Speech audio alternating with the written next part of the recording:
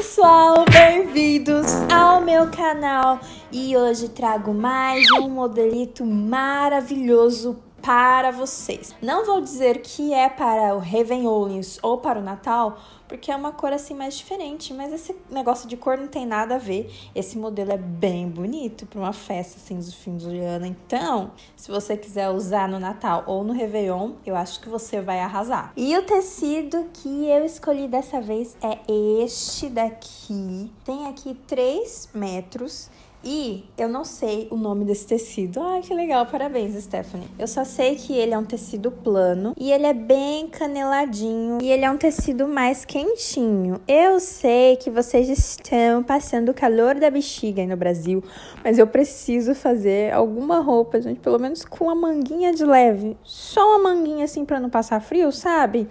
E hoje tá fazendo 4 graus aqui, então para vocês terem uma noção. Agora nós vamos para a minha pasta do Pinterest, porque eu já escolhi o modelo, sim. Gente, eu tô muito assim, procurando modelos antes de gravar o vídeo, então quando eu chego aqui, eu já tô com um modelo na cabeça. Meu Pinterest é Fanny Soares, a pasta de criação é Fanny Fashion, e o modelo escolhido de hoje é este daqui verdinho, né? Mas eu vou fazendo laranja, gente. Olha só que perfeição esse vestido.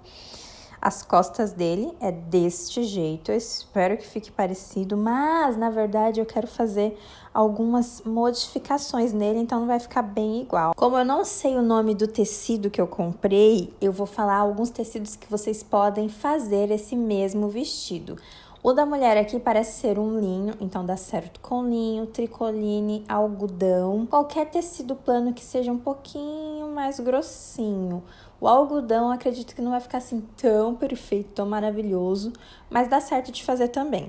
Se você quiser fazer numa malha, a parte de baixo da saia não vai ficar com o mesmo caimento se você fizer rodada.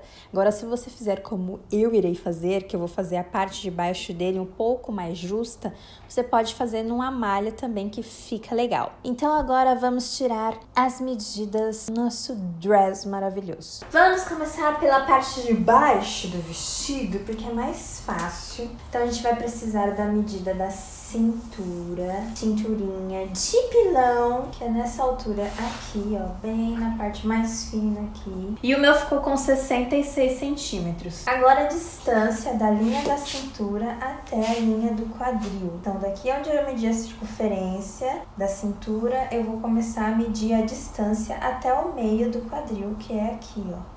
Bem no meio do popô. Então aqui nessa altura, tá?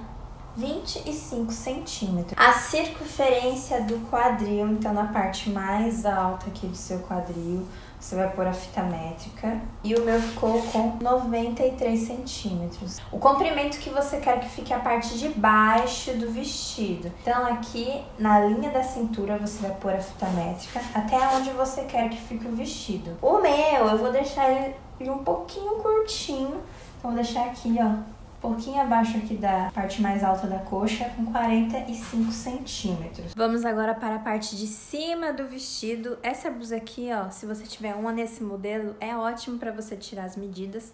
A única diferença é que essa blusa aqui é com o ombro bem caído e o vestido vai ser com o ombro mais aqui, pertinho mesmo na linha do ombro. Então, vamos medir a largura aqui do ombro. Você vai colocar desse jeito aqui, ó. Do mesmo jeito que tá na imagem. Então, a gente tem que tirar as medidas olhando a imagem e vendo o tamanho para ver se vai ficar parecido. Então a largura do ombro foi de 10 centímetros. Agora a largura do pescoço. A gola lá da moça é bem apertadinha, então vou tentar fazer parecida. Vou colocar desse jeito aqui, ó. Acho que é da mesma largura que essa gola, daqui até aqui. E o meu ficou com 20 centímetros. O tanto que vai descer depois para fazer o arredondado, eu vou tirar essa blusa e daí a gente tira uma base dessa blusa mesmo. Se você tiver uma blusa com a gola redonda assim bem pertinho do pescoço, você faz o mesmo para saber quanto tem que descer.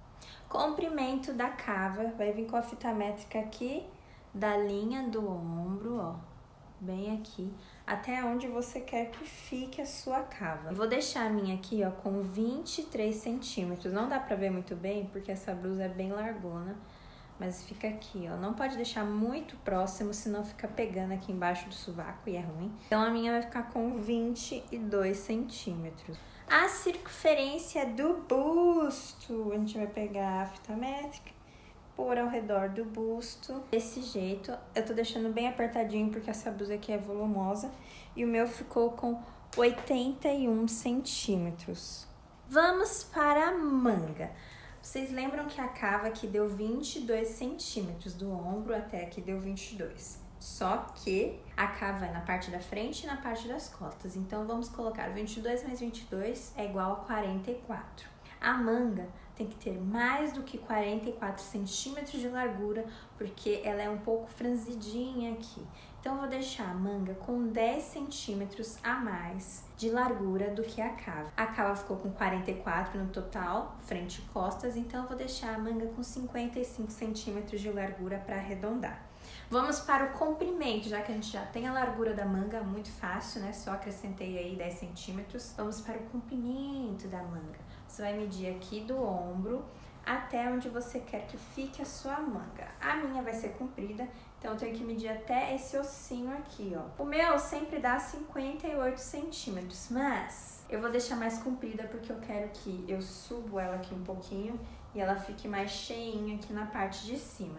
Então eu vou deixar com 70 centímetros o comprimento da minha manga. Aí você vê como você quer fazer, se você quer fazer ela tipo esticadinha mesmo, sem ficar bem folgadona aqui, ou se você quer fazer ela maior para ela poder ficar folgada. Como eu disse, eu sempre meço 58 centímetros, então eu aumentei aí 22 centímetros para ela ficar mais folgada. Isso já incluindo a margem de costura, tá, gente? E por último, o comprimento da parte de cima do vestido. A gente tirou o comprimento da parte de baixo, agora nós precisamos do comprimento da parte de cima, porque esse vestido tem o um recorte aqui na cintura, né? Então a gente vai medir aqui do ombro novamente até a linha da cintura. Então, a minha linha da cintura aqui deu 38 centímetros de comprimento para a parte de cima do vestido.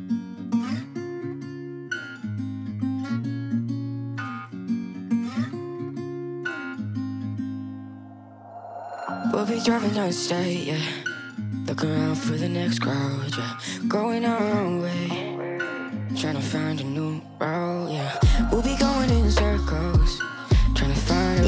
antes de cortar, deixa eu explicar para vocês o que eu fiz. Primeiro, eu dobrei o tecido ao meio, depois eu dobrei de novo. Por quê? Porque daí eu já vou fazer a parte da frente e a parte das costas de uma vez só. Isso na parte de baixo do vestido, né? Então já dobrei duas vezes para já cortar tudo de uma vez só a parte de baixo. Depois eu marquei o comprimento, tinha dado 45 centímetros de comprimento, vocês lembram? Mas eu deixei com 47 e tracei um risco aqui 47 para ter uma margem de costura para a barra de cima e para a barra de baixo. Depois de marcar o comprimento, eu já vim para a cintura. A cintura tinha dado 66 centímetros de circunferência, mas como o tecido está dobrado ao meio, a gente tem que dividir por 4. Então vamos aqui para o meu novo brinquedo.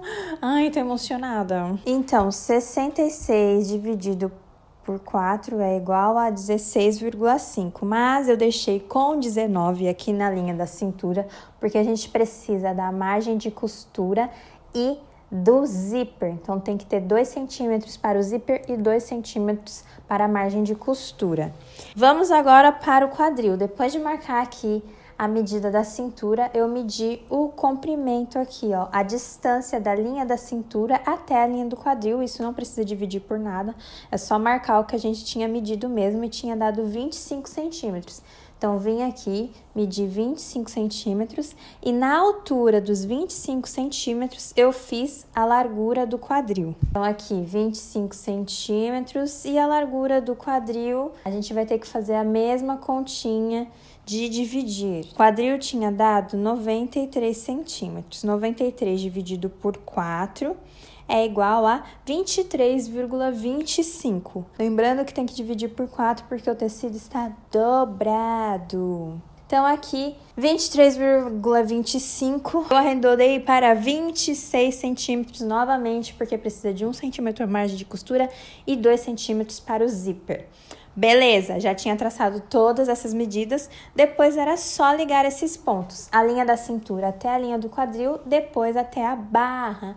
E prontinho, meu povo, só isso, muito fácil. E eu quis deixar essa saia mais larguinha, não quis fazer ela muito justinha no corpo, então eu vim aqui, tracei uma risca até a barra para ela ficar mais evasezinha. Não vai ficar muito evasê, mas vai ficar um pouquinho mais aberta, não vai ficar estilo secretária. Agora é só cortar.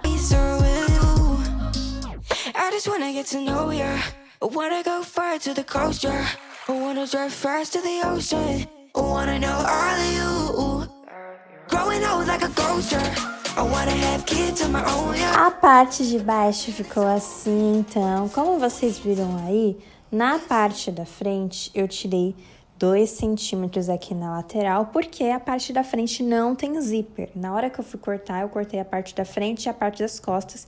Então, a parte da frente também ficou com margem para o zíper, mas como não tem zíper, eu tirei 2 centímetros daqui e ela ficou com as medidas certas. E a parte das costas, eu tive que cortar no meio para poder pôr o zíper. Eu sempre esqueço de fazer isso e acabo fazendo na hora de costurar, mas hoje eu lembrei. Então a parte das costas ficou assim, cortadinha ao meio.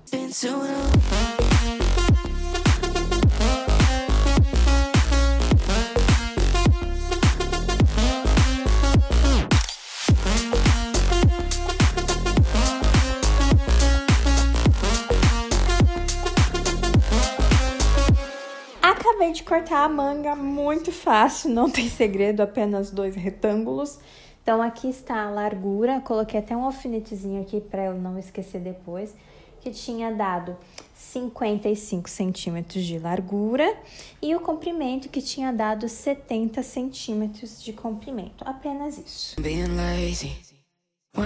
Então vamos para a parte de cima, gente. Já dobrei aqui, ó, 23 centímetros. Por quê? Tinha dado 81 centímetros de busto, vocês lembram? Então a gente tem que dividir por 4 também, porque a gente tá fazendo a parte da frente e o tecido está dobrado ao meio. Vamos fazer aqui. 81 dividido por 4 é igual a 20,25. Eu vou deixar 3 centímetros de margem de costura, porque sim, porque eu quero, porque eu não quero que fique muito justo. Agora eu vou dobrar de novo aqui, porque vai ser duplo na parte da frente e na parte das costas também. A gente vai dobrar aqui do comprimento que a gente tinha medido. Dobrei aqui 39 centímetros, a gente tinha medido 38 mais eu vou deixar um centímetrozinho para margem de costura. Ó, como vocês podem ver, ó, a dobra tá desse jeito aqui. E agora vamos para as medidas do ombro e da gola. Bom, gente, vamos para as medidas. Eu já fiz os risquinhos aqui para ficar mais fácil. Primeiro, a medida aqui da largura que tinha dado na gola. Tinha dado 20 centímetros, lembram? Mas como o tecido tá dobrado no meio, quando a gente abrir que a parte da frente vai ficar inteira, a gente tem que fazer a metade da gola. A metade de 20 é 10 mas aí eu deixei aqui com 10,5 para ter uma margenzinha. Então, quando abrir aqui, vai dar os 20 centímetros certo da largura da gola. O ombro tinha ficado com 10 centímetros. Aí o ombro não precisa dividir, só deixar ele aqui com 10 centímetros. Eu deixei com 11 para ter uma margem de costura. Então, o ombro aqui com 11 centímetros e a gola com 10,5. Vamos para a cava. Vocês lembram que a gente mediu o comprimento da cava? Então, daqui do ombro até onde tinha dado o comprimento, que era de 22 centímetros. Eu vou traçar um risco aqui para vocês conseguirem enxergar. Então, na altura de 22 centímetros. Depois, o restante já é o comprimento, né? Da parte de cima do vestido. Eu vou traçar um risco reto também. Reto quase, né? Porque tá meio torto. E agora a gente tem que entrar aqui os centímetros para poder fazer arredondado na gola e na cava. Bem, vou vir aqui com a minha blusa que eu estava vestida para saber o tanto que eu desço aqui na parte da gola. Porque lembram que eu disse para vocês que era bem parecida essa gola? com a do vestido, vou marcar aqui na parte mais alta, que é essa daqui, ó, da frente, que tá aqui, ó.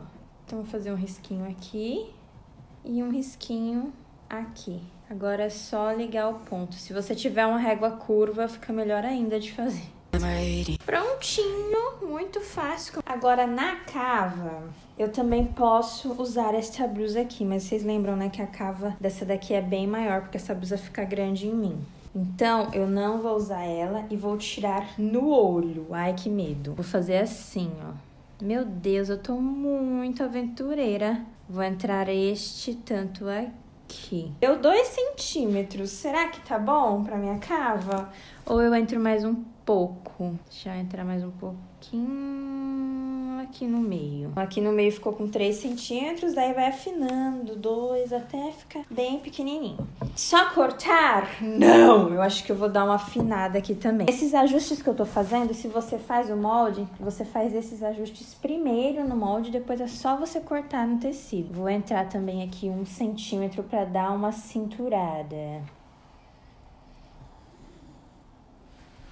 Vamos agora fazer um recorte. Vocês viram que tem um recortezinho aqui, né? Então, pelo que eu percebi, depois da cava, parece tem uns 10 centímetros aqui, ó, nessa partezinha. Então, aqui abaixo da cava, a gente vai descer 10 centímetros e daí começa com o recorte para dar esse detalhe na cintura. Ah, eu vou marcar 9 centímetros, não vou marcar 10. Depois de marcar os 10 centímetros, é só fazer um risquinho aqui diagonal. Será que tá bom isso? E eu entrei 6 centímetros, deu aqui, ó, da ponta da blusa até aqui. Agora é só cortar, gente. Tudo muito fácil, né? Eu acho que deu para vocês entenderem bem, né?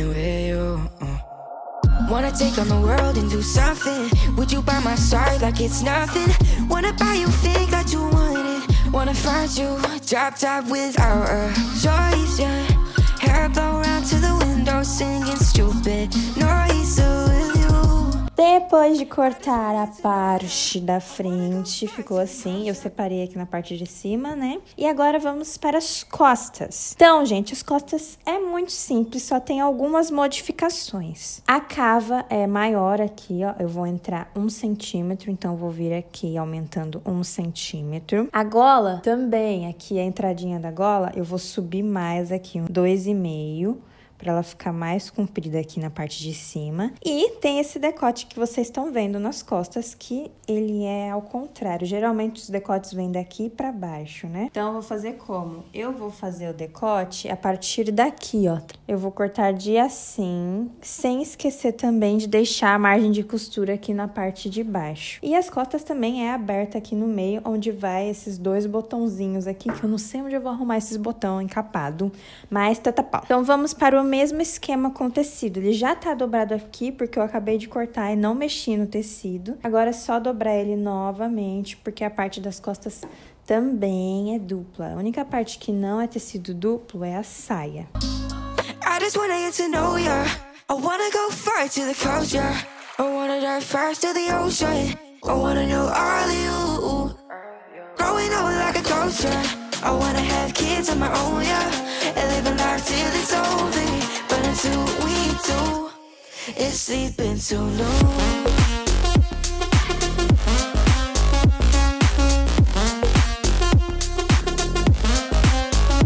Ficou assim a parte das costas, gente. Eu já coloquei os alfinetes para já começar a costurar. E eu esqueci de deixar a margem de costura porque tem um recorte aqui no meio. Mas depois, se der muita diferença, eu ajeito na hora que estiver costurando. Ficou desse jeitinho. Agora é só passar uma costura aqui onde eu coloquei os alfinetes, na parte de baixo, no meio e na gola. Lembrando que é lado direito do tecido com lado direito. Tá vendo aqui, ó? Parte aveludada com parte aveludada, o avesso fica para fora. E a mesma coisa aqui na parte da frente, eu vou passar uma costura onde eu coloquei os alfinetes, que é aqui na parte de baixo, nas laterais e na gola. Bora começar a costurar?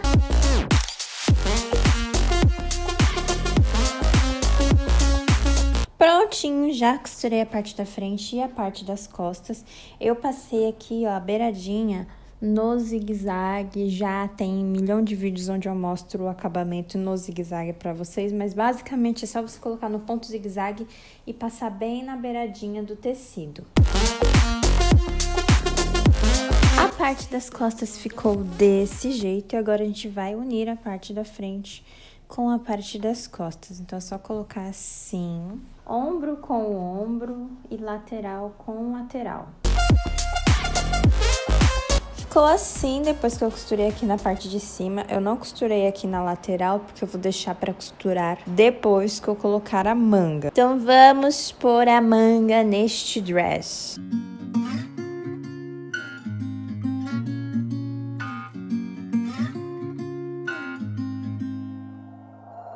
We'll be driving down state, yeah.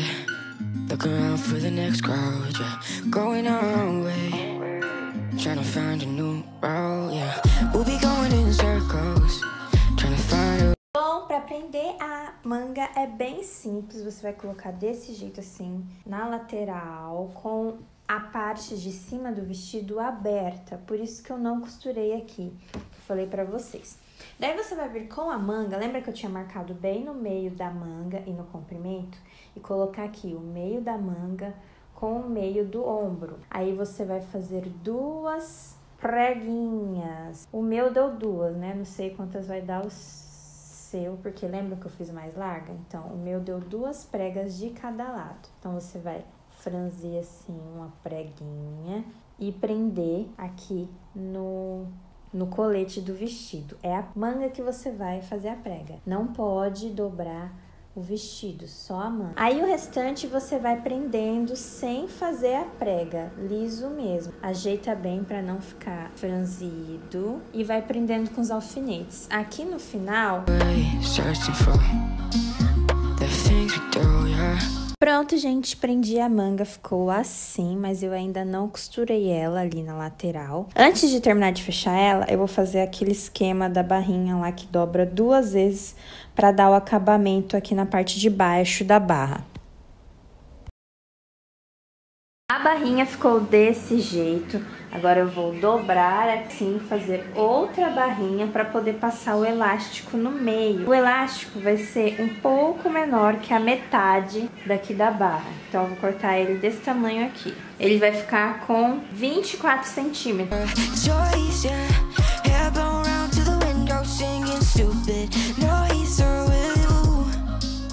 I just wanna get to know. I wanna go far to the coast, yeah. I wanna drive fast to the ocean. I wanna know all of you. Pronto, gente, como vocês viram, passei uma costura aqui nas duas pontas, olhem.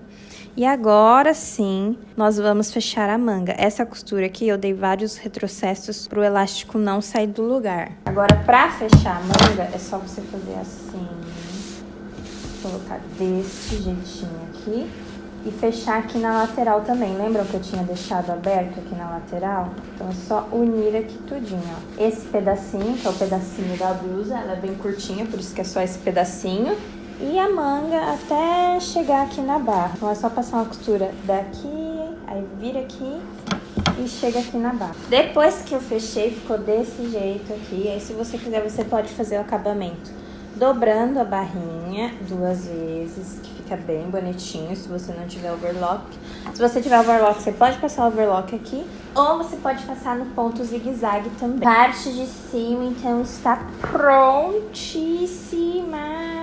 Olhem só como ficou.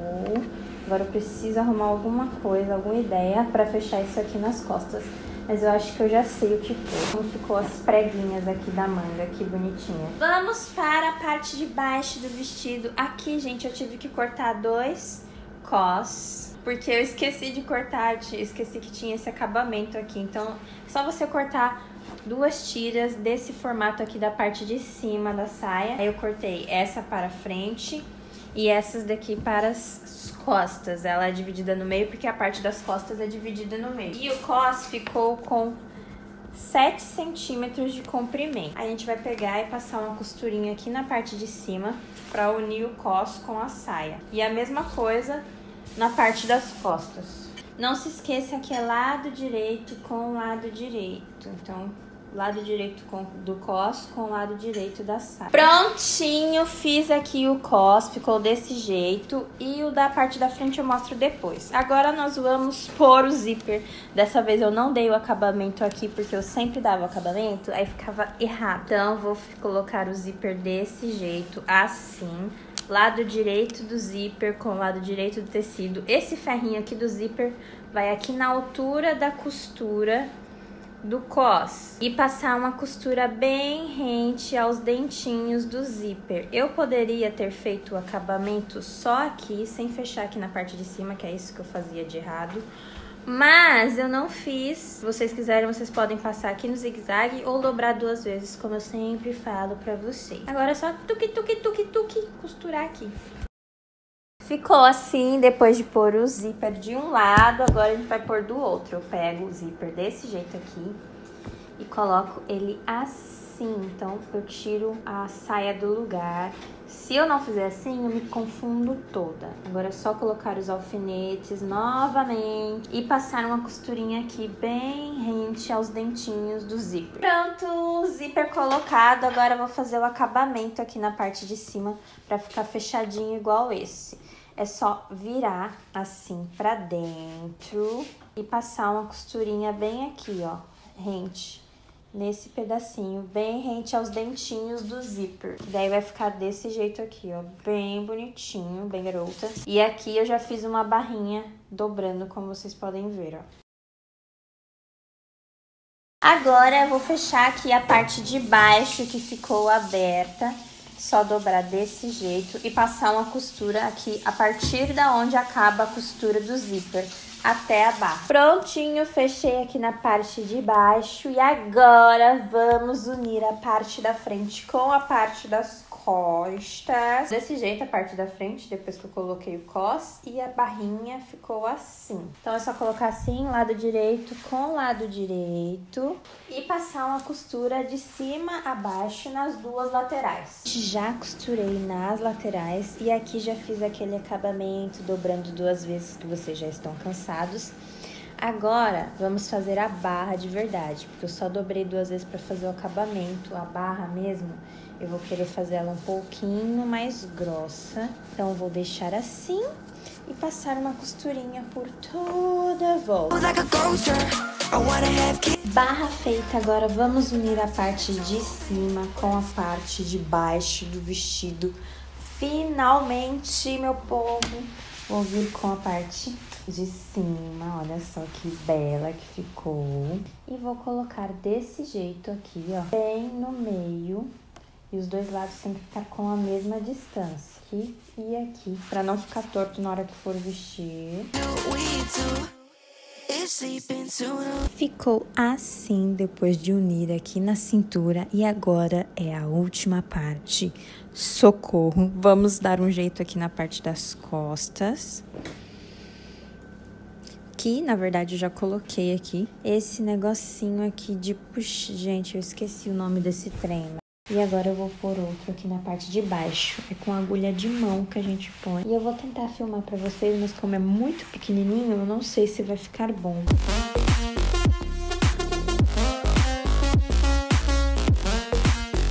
Ficou pronto o vestido maravilhoso. Agora vamos ver como ele vai ficar no corpo.